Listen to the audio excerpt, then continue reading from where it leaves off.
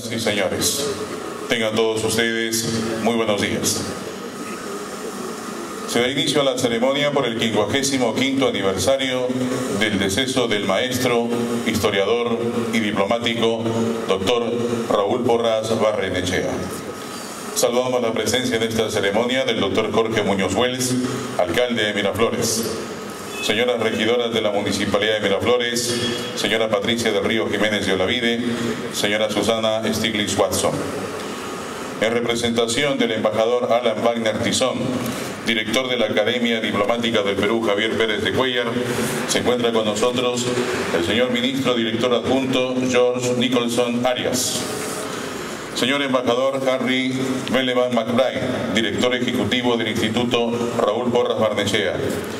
Embajador Roger Loaiza Saavedra, integrante de la primera promoción de la Academia Diplomática del Perú, promoción Raúl Porras Barrenechea. Doctora Flor María Shimomura Ura, presidenta de la promoción Raúl Porras Barrenechea, bodas de Esmeralda de la Facultad de Educación de la Universidad Nacional Mayor de San Marcos.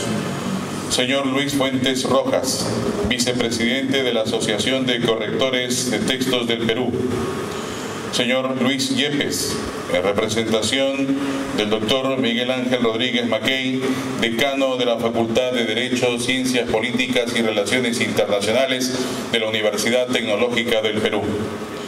Señores miembros del cuerpo diplomático, miembros de la Academia Diplomática del Perú, integrantes del Instituto Raúl Porras Barrenechea, señores representantes y estudiantes de instituciones educativas, distinguidos invitados, señoras y señores. A continuación, entonaremos las sagradas notas del himno nacional del Perú.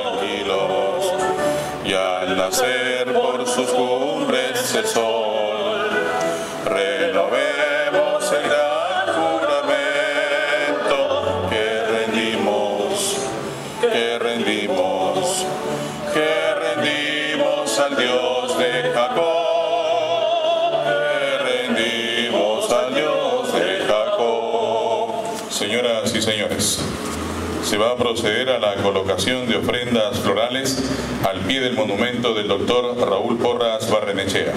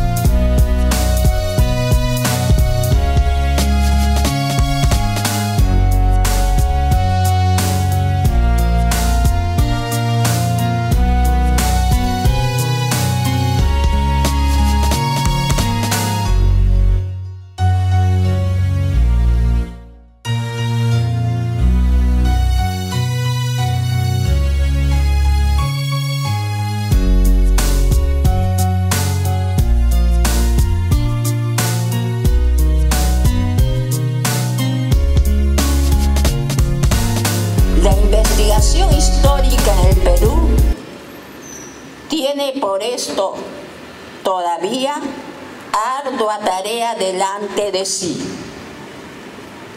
Urge desenterrar las fuentes abandonadas y ocultas y discriminar científicamente su verosimilitud, autenticidad e importancia.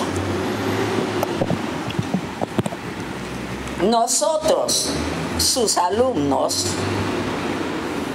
asimilábamos en cada una de sus clases el enfoque crítico, objetivo, vibrante y comprometedor para aplicarlo en nuestro actuar cotidiano. En otra de sus clases magistrales nos dijo, toda la faena humana, por humilde o dura que sea, puede ser transformada en belleza y en ideal si se trabaja con alegría, con ánimo de perfección y con amor por la obra misma, como si fuera una obra de arte. En esta forma, el maestro inculcaba la importancia de la creatividad, haciéndonos comprender que ella sintetiza al hombre físico, al hombre mental, al hombre espiritual, dándole una, una visión de futuro amplio y promisor, haciendo trascender su obra a través del tiempo. De 1958 a 1960 se desempeñó como ministro de Relaciones Exteriores. Y al recomponerse el gabinete en 1959, el presidente Manuel Prado Ugarteche lo mantuvo en su cargo, juramentando en su propia residencia, Colina 398 Miraflores, por encontrarse delicado de salud. Al, rememorar su actuación principista y honesta de rechazar el bloqueo a Cuba por los Estados Unidos de Norteamérica. Única voz justiciera y solidaria en aquella reunión de cancilleres. Ahora, en septiembre de, del 2015, se reinician las relaciones entre ambos países. Luego de 50 años de bloqueo permanente que resintió la unidad del continente americano. Porras se yergue frente a la prepotencia de entonces. Su visión de estadista, de estadista se pone en vigencia nuevamente al ser consolidada la unidad de América dentro de un contexto de paz, libertad e independencia. Actualizamos su pensar y su decir recordando el siguiente mensaje político educativo. Corresponde también a los intelectuales abandonar su neutralidad y contribuir a formar con reserva fecunda una gaya ciencia contra el imperio de la fuerza y la política de destrucción y de barbarie. Señoras, señoritas, señores, jóvenes estudiantes. Las personas valiosas nunca dejan de tener vigencia. En tal sentido, cada vez que uno revive la incomparable obra de Raúl Porras Barrenechea, encontrará nuevas formas de interpretar su pensamiento y su ciencia, restableciendo los principios de libertad y de dignidad humanas. El legado proporcionado por nuestro mentor ha comprometido nuestro desempeño educativo a través del tiempo. Como ex alumnas y como integrantes de la promoción Raúl Porras Barrenechea 1961-2016. Muy agradecida.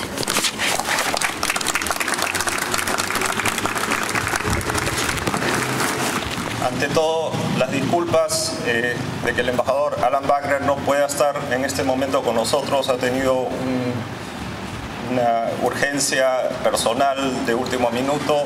Estuvo aquí un ratito y ha debido salir apresurado, eh, con lo cual le extiendo sus disculpas. Agradezco al doctor Jorge Muñoz, alcalde de Miraflores, y al embajador Harry Belevan McBride, director ejecutivo del Instituto Raúl Porras Barnechea de la Universidad de San Marcos, por haber invitado a la Academia Diplomática al homenaje que hoy se rinde al ilustre diplomático peruano, embajador Raúl Porras Barnechea, quien luego de 55 años de fallecido sigue siendo fuente de inspiración en el rico legado que dejara para la diplomacia, las relaciones internacionales, la ciencia política, el derecho, los foros legislativos y judicial, la historia, la geografía, la literatura y el periodismo, entre otros.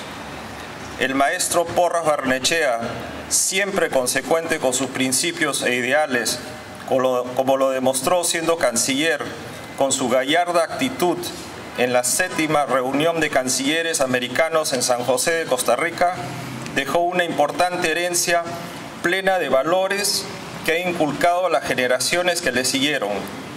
La vocación de servicio, su patriotismo y permanente empeño en el cumplimiento del deber, así como la promoción y defensa de los altos intereses nacionales, hoy más que nunca cobran vigencia, no solo en Torretagle, sino en todos los demás ámbitos de la vida nacional. La Academia Diplomática, a la que Porras consagró sus últimos cuatro años de su fructífera vida, renueva en esta ocasión su profundo reconocimiento al maestro, tanto por las lecciones que en ella impartió como por el tenaz resguardo de la institución como centro de formación y único medio para ingresar al servicio diplomático de la República. El embajador Carlos Alzamora, en una reciente reseña biográfica del maestro Porras, próxima a ser publicada, recuerda el siguiente hecho que revela cuán próximo estaba la Academia Diplomática a su corazón. Comillas. Porras quiso que su último acto como ministro de Relaciones Exteriores fuera tomar el juramento a los integrantes de la primera promoción egresada de la Academia Diplomática, a la que había dedicado tantos de sus cuidados y sus afectos. Ante el canciller que sabían moribundo, los nuevos diplomáticos, al borde de las lágrimas, escucharon su última invocación cuando les recordó que por encima de los cargos y las prebendas está la dignidad del Perú y la personal de cada uno de ellos, que en un gesto de desafiante homenaje habían dado a su promoción el nombre de Raúl Porras Barnechea. Cierro comillas. La ocasión es propicia también para expresar el agradecimiento de la Academia Diplomática al Instituto Raúl Porras Barnechea y a su director, el embajador Harry Belevan McBride, por la infatigable labor que realiza en la divulgación de la obra del ilustre maestro Raúl Porras Barnechea. Muchas gracias.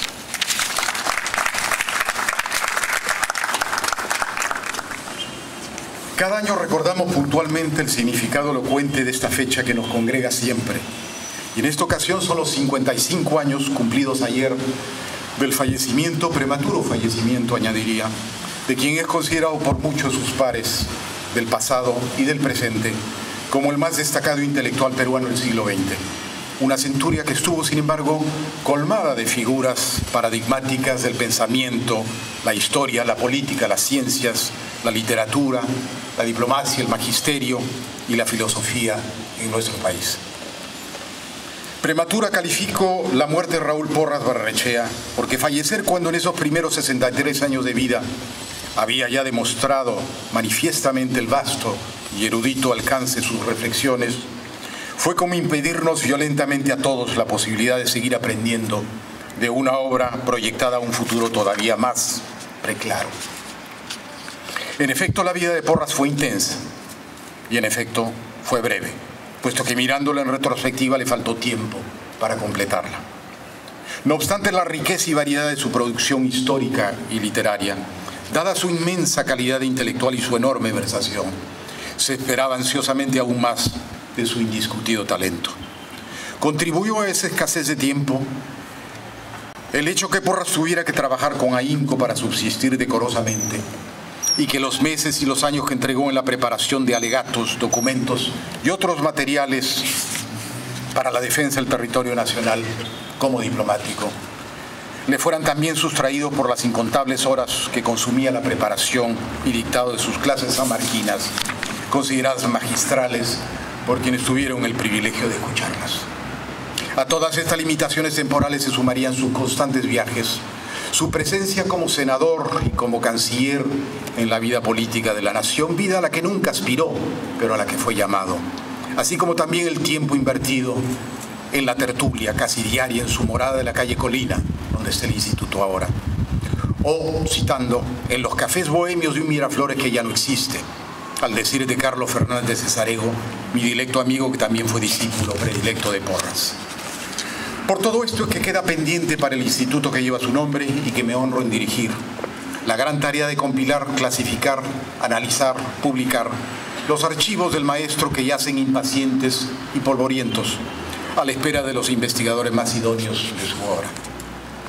A fin de no abundar en el legado de Raúl Porras, reiterando acaso lo ya dicho con tanta justeza en ocasiones anuales anteriores y particularmente hoy por las distinguidas personalidades que me han precedido en el uso de la palabra, he pensado que sería acaso más provechoso, sobre todo para nuestros alumnos aquí presentes esta mañana, alumnos de colegios que perennizan emblemáticamente el nombre de Porras y también estudiantes de la Academia Diplomática cuya creación él tanto contribuyó como que fue diplomático de carrera.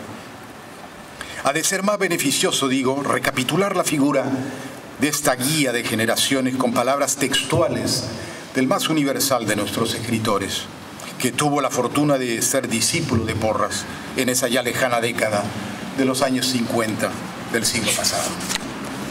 En efecto, hace unos años, don Mario Vargas Llosa le dedicó a su maestro las siguientes palabras y lo cito. Tengo una gran deuda contraída con Raúl Porras Barnechea, escribió en su libro autobiográfico El pez en el agua. Sus clases de historia eran deslumbrantes por la elegancia de sus exposiciones y el rigor con que preparaba su curso.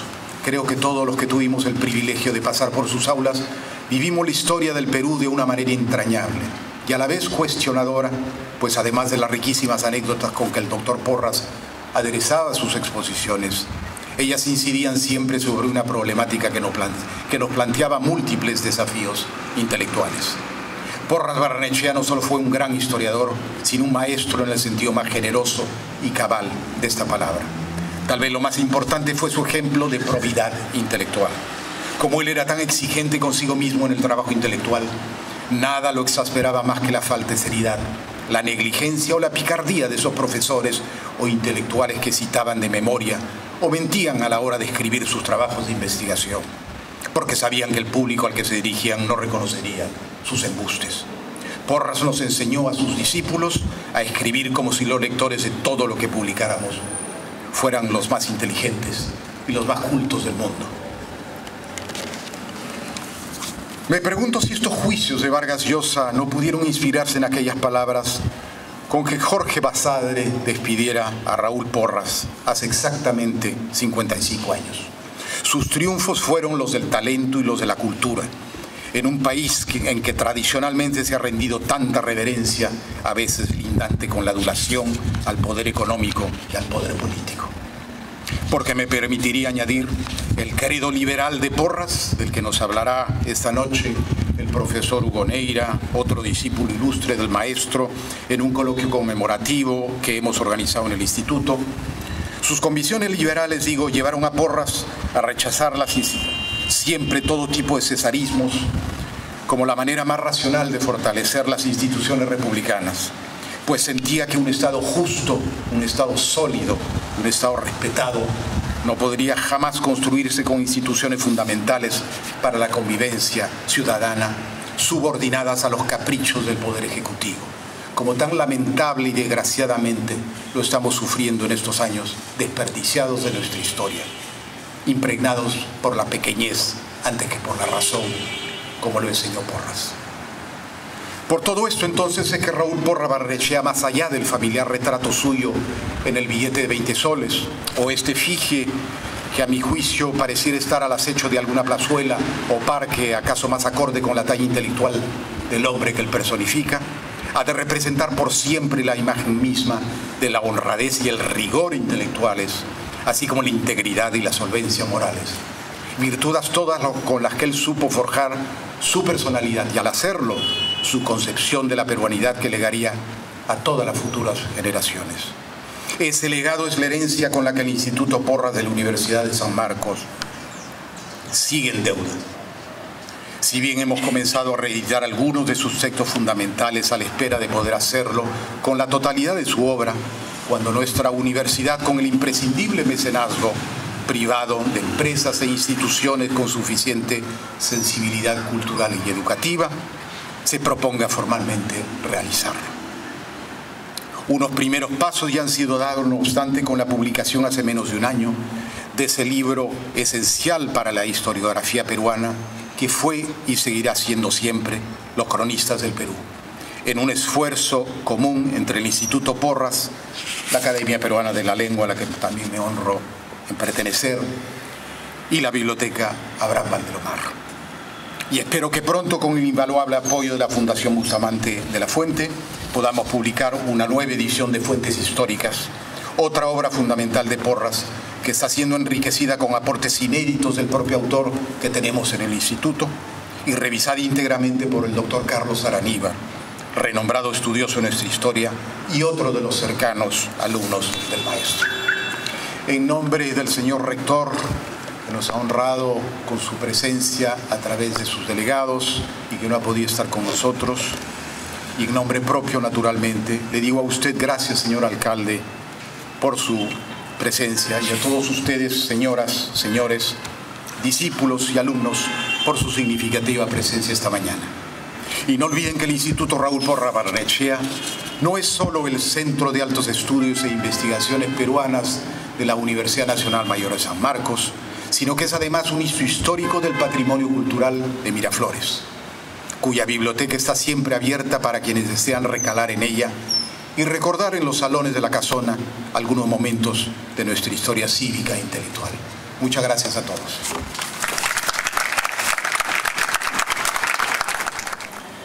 Estamos aquí reunidos para brindar un justo homenaje al maestro Raúl Porras Barrenechea, y qué mejor lugar de Miraflores para hacerlo que en este espacio emblemático que lleva su nombre. Porras fue un gran historiador, un comprometido servidor público y especialmente un notable formador de intelectuales en nuestro país. En una de las últimas entrevistas que brindó, Porras Barrenechea sintetizó en una frase su profunda vocación por la formación académica abro comillas, los libros de un maestro son sus alumnos, cierro comillas. Y Porras tiene muchos libros, y libros que además son notables para mostrar con orgullo todo lo que él enseñó y todo lo que en ellos se escribió. Gracias a su, generosidad académica, nuestra centenaria historiadora María Rostorowski inició una notable vida académica que nos permitió conocer más del antiguo Perú. El recordado Jorge Puccinelli, que hasta hace pocos años nos acompañaba justamente en estos homenajes, en este mismo espacio, también encontró en el maestro Porras a una guía en sus estudios de historia literaria. Y la lista, por cierto, podría continuar, pues varias generaciones de intelectuales peruanos encontraron en Porras al maestro dispuesto a darles todo el tiempo que fuese necesario para ayudarlos a alcanzar todo su potencial. Uno de los discípulos, como ya se ha dicho, fue nuestro Premio Nobel de Literatura, Mario Vargas Llosa, quien en sus memorias recuerda a Porras señalando, y cito, Gocé tanto trabajando a su lado que en algunos momentos hasta estuve tentado de abandonar los estudios de literatura para consagrarme a la historia. Además de un investigador de gran aliento, Porras Barrenechea, fuera del trabajo, era conversador, risueño, gran contador de anécdotas y siempre dispuesto a dar un consejo y prestar una ayuda a quienes trabajábamos cerca de él.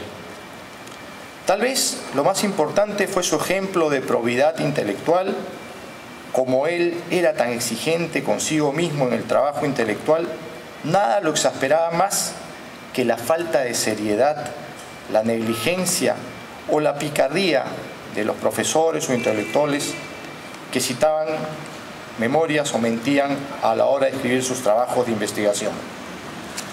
Esto también ya se ha resaltado y esta es una de las enseñanzas mayores del maestro Porras Barranechea.